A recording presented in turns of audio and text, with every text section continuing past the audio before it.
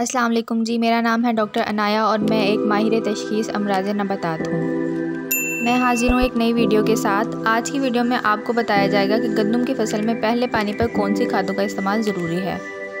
गंदम की फ़सल में मुख्तलिफ़ खादें इस्तेमाल की जाती हैं। जैसे अगर आप गंदम के सिट्टे या पौधों की तादाद में इजाफा करना चाहते हैं तो आप नाइट्रोजनी यानी यूरिया खाद इस्तेमाल करेंगे।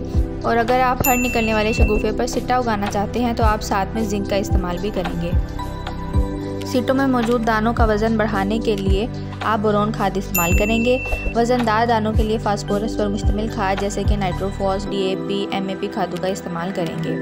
और अच्छी क्वालिटी वाले दानों के लिए पोटाश वाली खादों का इस्तेमाल करना बेहतर है।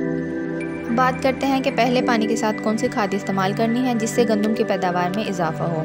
जैसे कि पहली वीडियो में भी आपको बताया गया था, पहला पानी जो कि बिजाई के 20 से 25 दिन बाद लगता है, इसके साथ यूरिया का इस्तेमाल करना बहुत ज़रूरी है। यूरिया का इस्तेमाल गंदम के पौधों की तादाद में इजाफे के साथ सिटों की तादाद भी बढ़ाएगा। और अगर आप इसके साथ जिंक भी इस्तेमाल करते हैं तो आपको बेहतरीन पैदावार मिलती है।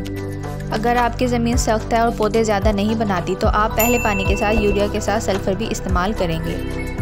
ज़मीन की तैयारी के वक्त अगर आपने फास्फोरस पर मुश्तमिल खाद का इस्तेमाल नहीं किया तो आप पहले पानी के साथ इस खाद का इस्तेमाल करेंगे, जैसे कि डीएपी नाइट्रोफॉस इससे आपके पौधे की सेहत बहुत अच्छी होगी।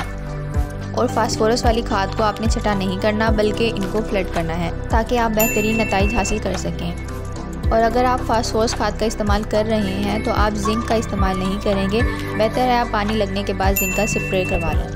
अगर आपके खेतों में ट्यूबवेल से पानी लगता है तो आप पोटाश खाद का इस्तेमाल करेंगे, इससे आपकी पैदावार बढ़ेगी। और जिनके खेतों में नहरी पानी लगता है, अगर वो पोटाश खाद का इस्तेमाल नहीं भी करेंगे तो भी इनकी पैदावार अच्छी होगी। अगर आप तरतीब से एक शेड्यूल के साथ खादों का सही तरीके से इस्तेमाल करेंगे तो आप गंदम की अच्छी फ़सल और बेहतरीन पैदावार हासिल कर सकते हैं। वीडियो आपको पसंद आई हो तो इसको लाइक कर दें और कमेंट बॉक्स में बताएँ आप किस बारे में मज़ीद मालूम हासिल करना चाहते हैं, ताकि आपकी बेहतर रहनुमाई की जा सके। मज़ीद मालूमती वीडियोज़ के लिए हमारे चैनल को सब्सक्राइब करें और दुनिया भर से मुफ़्त ज़रिए मशरे के लिए इस नंबर पर रबता करें।